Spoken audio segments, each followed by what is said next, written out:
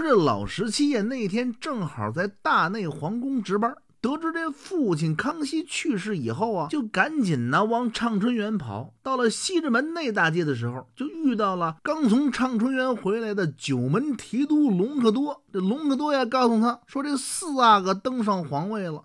这会儿的十七阿哥脸色大变，就像疯了一样，跑回了自己的府邸。您好，我是昆仑流石，欢迎您来到我的书场。这两天呢，可能咱们更新的有点不太及时。不过您得理解啊，他谁还没有点糟心的事儿啊？您看我也是一样。哎，不过呢，作为我呀，负责给您说书讲故事的这么个人，一个自媒体博主呢，我呢就得克服这些。所以说呢，我是尽量给您及时的更新。咱们这故事啊，接着讲。闲言少叙啊，咱们书归正传。今天呀，咱们继续说这清宫一案。咱们那个话题是什么来着？就是儿子和父亲的故事。不是说到这个雍正登基之谜了吗？那咱们该说什么了呢？本来啊，我是想说说这康熙皇帝的遗诏，其实这稿子呀都已经写好了，可是啊，我迟迟的就没录，因为我呀，他有个思想斗争。我觉着呢，咱们要是讲九子夺嫡，康熙皇帝这道遗诏啊，就应该大说特说，因为在众皇子夺嫡的这个过程当中啊，这道遗诏它肯定是很重要。不过，咱们要是讲清宫一案呢，我想了想啊，如果说起遗诏来呀，它就算不上遗案。为什么呢？因为这篇康熙皇帝留下的遗诏啊，泱泱啊，也是一千七百多字。不过呢，这主要交代的问题就只有一个，那就是那句最关键的：雍亲王皇四子胤禛人品贵重，身肖正宫，必能克成大统，着继朕登基即皇帝位。所以说这么一来呢，这道遗诏啊，那就是康熙皇帝本人的传位诏书。那么为什么我敢说这康熙皇帝这道诏书里并不存在疑案呢？因为这件事儿啊，是秃子脑袋上的虱子，他明摆着这道遗诏就是雍正皇帝继承了皇位之后和他的谋士一起写出来的。首先说啊，这国内现存的四道遗诏，没有一道啊是康熙皇帝的亲笔写的。当然了，这遗诏的真迹呀，您作为一个普通的游客、普通的老百姓，您哪个您也看不见。不过呢，在北京档案馆啊，有一个珍贵档案展，那里边啊有一份康熙皇帝的传位诏书。是复制的辽宁档案馆的那份康熙传位诏书，您想去吧。现在这科技呀，3D 打印，连立体的都能一模一样的仿出来，更别说仿制这么一篇行文了。所以说那份诏书啊，应该和辽宁档案馆的是一模一样。您看，康熙六十一年的十一月十三，康熙皇帝驾崩畅春园。过了一天之后，这大清皇帝的子宫被送回了紫禁城。紧接着呢，就是这北京城啊，长达六天的宵禁，也就是说这九门全闭呀。您看啊，这一天加上六天，也就是十一月二十，这遗诏才公布天下。那这些天，这雍正皇帝干嘛呢？那就是在憋着怎么写这遗诏呢？那这会儿就有人就问了，那主播你是不是认为这雍正皇帝的皇位啊来之不正，是篡位的呢？呃，我可没这么说。呃，并且呀，我是深信这康熙皇帝就是要把皇位传给这老四胤禛的。您看啊，这儿有一份啊，这道光皇帝当年亲笔写下的传位诏书。这传位诏书啊，完全应该是这个格式。这皇帝呢，在传位诏书上写呀，把皇位传给谁，或者呢，有什么特别要交代的，写一下就完了。像这康熙皇帝的传位诏书这样啊，一共一千七百多个字儿，有一千六百多废话。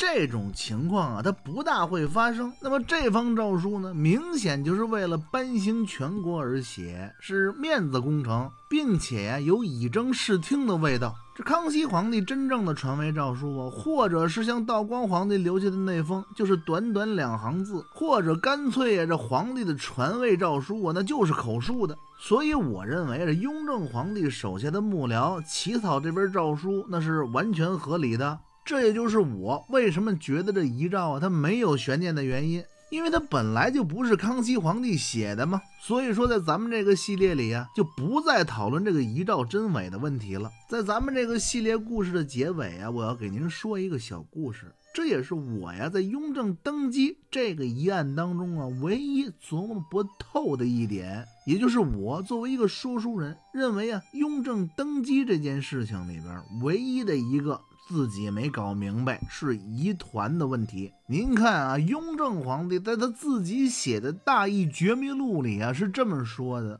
朕位至畅春园之先，皇考命成亲王允旨、纯亲王允佑、阿奇娜、赛斯黑这俩人啊，您都知道，一个是八爷允嗣，一个是九爷允堂。允娥、公允陶、怡亲王允祥原任理藩院尚书，隆科托至御榻前，曰：皇四子人品贵重，身肖正宫，必能克成大统，着继朕继皇帝位。当然了，我们前番就交代过了，这屋子里呀肯定还有其他人。不过呢，他认为这些人啊是最重要的，一共几位啊？加上大臣隆格多呀，一共是八位。这里边他没毛病。可是啊，您往后听，毛病来了。他下边接着又说了，紧跟着他就说呀，这恒亲王允琪因为冬至的原因啊，去孝东陵行礼，未在京师。庄亲王允禄。果亲王允礼、贝勒允吾、贝子允一聚在寝宫外侍候。他的意思是说呀，当时在这个清溪书屋外跪着的还有另外几位皇子，这其中就包括那些喜欢《甄嬛传》的好朋友所熟知的那位果亲王允礼。那有人说这有毛病吗？哎，在这个文字上这么看是一点毛病都没有。不过呀，后来的学者在众多的皇宫档案当中啊，找到了一封当年隆科多给雍正皇帝的密折。这上边写的几句话呀，就让人搞不明白了。这封密折上面啊是这么写的：圣祖皇帝宾天之日。臣先回京城，果亲王允礼在内值班，闻大事出，与臣御西直门大街，告以皇上照登大位之言。果亲王神色乖张，有泪疯狂。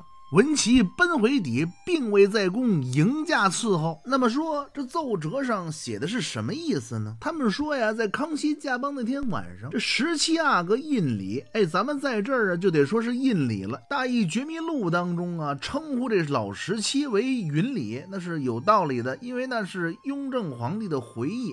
那会儿呢，这胤礼啊，已经为了避皇上讳，改名允礼了。那咱们在这讲故事，在那天的时候，这十七爷呀还应该叫做胤礼呢。说这老十七爷那天正好在大内皇宫值班，得知这父亲康熙去世以后啊，就赶紧呢往畅春园跑。到了西直门内大街的时候，就遇到了刚从畅春园回来的九门提督隆科多。这隆科多呀告诉他说，这四阿哥登上皇位了。